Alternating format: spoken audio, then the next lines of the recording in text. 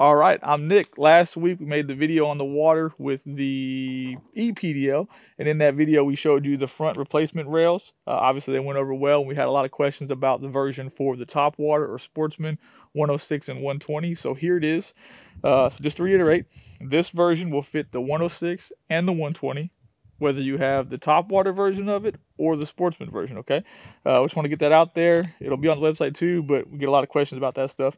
Um, you know, the rail is full length, just like the factory rail. Now, the rail is a lot stronger. Obviously, it's pretty flimsy, um, which is just the way they designed it.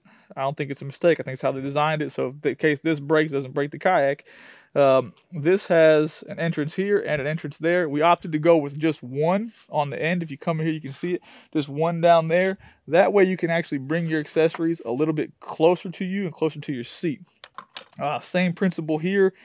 Uh, you can attach anything you want. On this side, you can have your verti- vertical fish grips.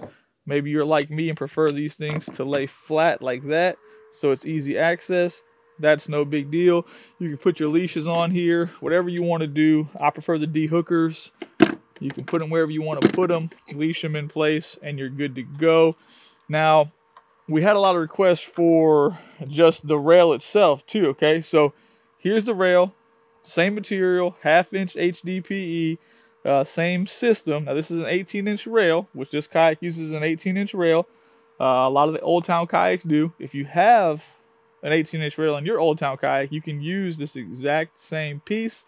That's no big deal to fit it. Just measure your kayak, whether it's a MK106, an autopilot, whatever the case may be. These will fit it, and they're on the website as well. I think that pretty much covers everything. If you do have questions, just leave a comment below or shoot me an email at nick at navarrekayakfishing.com and we'll get you an answer.